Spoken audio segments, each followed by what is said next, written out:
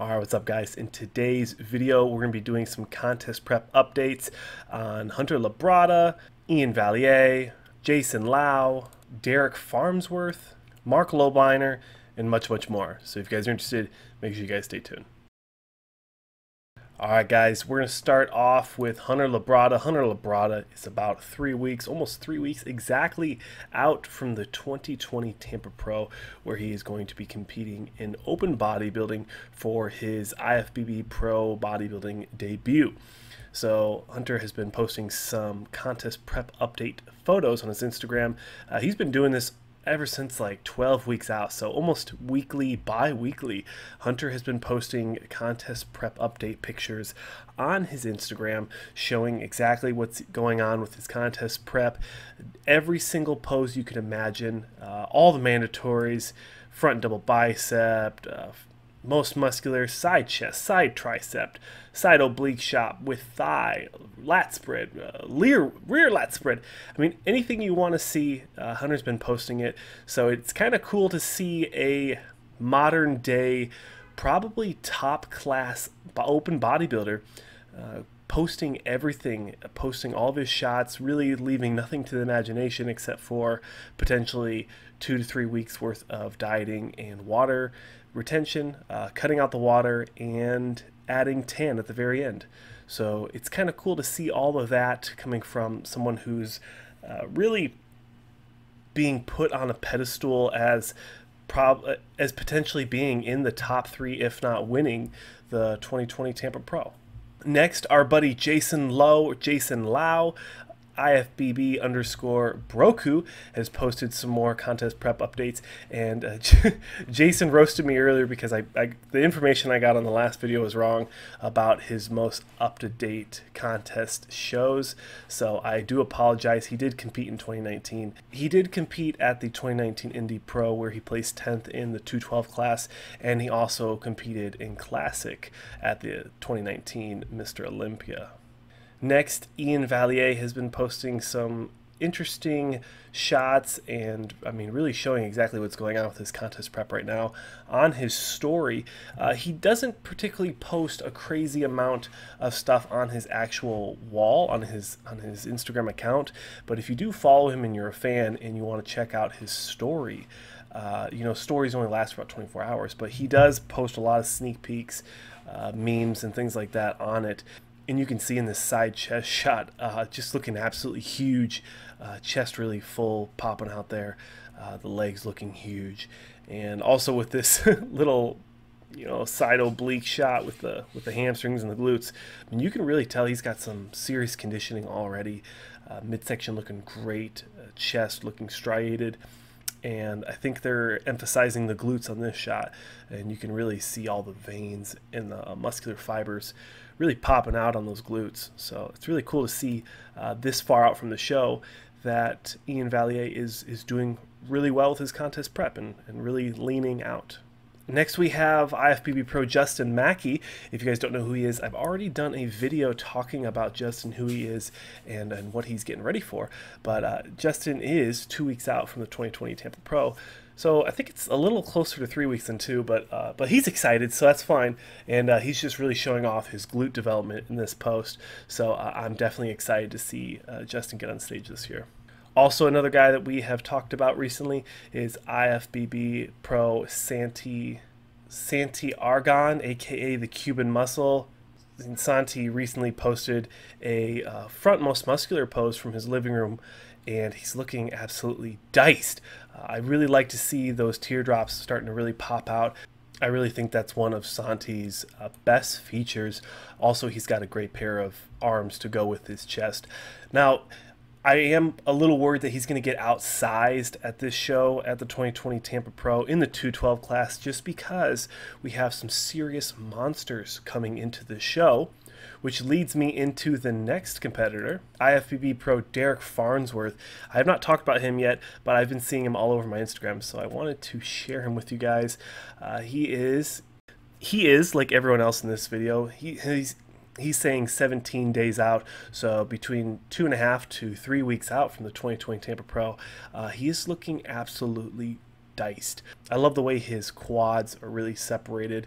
Uh, he has a a interesting physique. He's dry, he's full, he has a very nice X taper. Here you can see his back double. Uh, very interesting physique. And, and, I, and, honestly, I wish the best for Derek. I think he has a very competitive physique, and I think he's going to do well this year. Next, we have IFBB Pro Weapon X underscore IFBB Pro. Uh, Derik Oslan is getting ready for the 2020 Tampa Pro in the 212 class. So, uh, like I said, we've got some serious mass coming into the show. Uh, also, conditioning. Uh, I always like to start with the legs. He has a great quad sweep, and uh, I really do think he's going to have um, a little bit better time placing than Derek.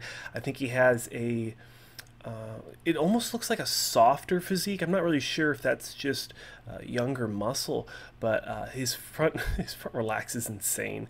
Uh, he's very wide. I think the only thing is it, his legs look a little smaller than the rest of his body, uh, and I'm kind of worried that that might uh, knock him off. one or two places if somebody with a little bit wider leg development comes into the show. But besides that, I mean, Derik looks fantastic. He's bringing a lot of size into this 212 class, uh, and I'm very excited to see him. As always, I'm very excited to see everyone uh, at this year's 2020 Tampa Pro. And I have a few more guys here I want to cover just real quick. James Hollingshead or James Hollingshed uh, is getting is still getting ready for his show, and he's posting some contest update photos on his Instagram. So I wanted to share them with you guys as well while I have you here and he's looking uh, absolutely huge. Something that I'm really looking forward to is if James can bring some serious, I mean serious conditioning without losing any of the size he's put on this year in the offseason. He's uh he's put on a lot of size this year. So if he can keep that muscle, if he can retain all that all those gains uh, and bring in some good conditioning, not no, no, no, no, not good conditioning, great conditioning, uh, I think he'll be able to uh, to snipe a spot here for the 2020 Olympia. Another guy, real quick, Emmanuel Longoria. I really liked his physique. I saw him online today when I was just scrolling. Uh, it looks like he's about 14 weeks out from his show. Uh, but he's looking, I love his physique. I love how just absolutely massive he is up top. Uh, and then his legs, he has kind of an interesting physique. Uh, it doesn't exactly flow very well, or maybe it's just the way he's standing. But uh, I just want to share him with you guys. I think he's a, a good. Uh, I think he has a lot of potential uh, coming up in the ranks this year. Is AKA the Giant, also known as James Christian Johal, and I saw his post on the Bodybuilders Without Borders post Instagram page, posting saying he is eight weeks out from the Cali Pro, so he is looking he's looking pretty good. I think he's got a lot of time to bring in some better conditioning. Now, a lot of people might not just so a lot of people might disagree with me on this, but I actually like the higher lat inserts. I think it really uh, accentuates the smaller waistline. If you could just look at this guy from the front, he's kind of got like a um, Dennis Wolf style physique. Uh, I think he has a lot of potential this year to really start cracking into those uh, first callouts. maybe. I think the only thing that I'd be worried about is if you look at this last picture, it looks like his chest is is almost a little undersized compared to his arms. He has some massive arms on him, and I'm thinking it might overshadow his chest just a little bit. So uh, maybe I'm wrong, maybe I'm right. Uh, comment below what you guys think.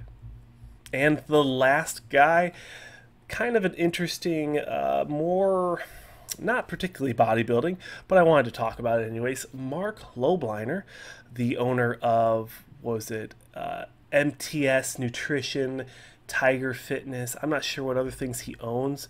Maybe Carbon Culture USA. I'm not sure, but he posted some photos on his Instagram talking about being, you know, 21, 22 weeks out from the muscle contest masters class so it looks like mark is getting ready to compete in 2020 so that's kind of cool uh, i have not seen any photos of mark competing before in the past i know he's always been a, uh, a fitness uh, personality. He's always been muscular, uh, obviously, with owning a supplement company. Usually that's something that comes with it. But it's kind of cool to see that Marc is actually getting ready for a show. So hopefully uh, he can bring something impressive, something to um, a package that's willing to a package that's going to help promote his company, promote his uh, his brands, and I wish the best of luck to Marc Lobliner in his competitive season in 2020 last but not least, I did want to talk about Nick Walker real quick. Uh, he is looking absolutely shredded in his new photo on his Instagram. Uh, obviously, he's getting ready for the NPC uh, North Americas, the Nationals this year, and I really do think this is the year for him to win, as he came in second last year. So, uh, best of wishes. Uh, best of luck, Nick. Um, I give you all the all the wishes. Uh, we, we, know you're going to do well, and I look forward to seeing you on stage this year. All right, guys, and that's going to do it. Uh, thank you so much for stopping in and watching the video. If you guys enjoyed another contest prep update video, consider liking the video. If you enjoy me in general talking about bodybuilding and fitness, consider subscribing. Uh, if you guys want to support me in another way, you guys can go to Golden Arrow Nutrition and use discount code SAUNCH15. And uh, that, uh, and that's it, guys. Thank you so much for watching, and I'll see you guys in the next one.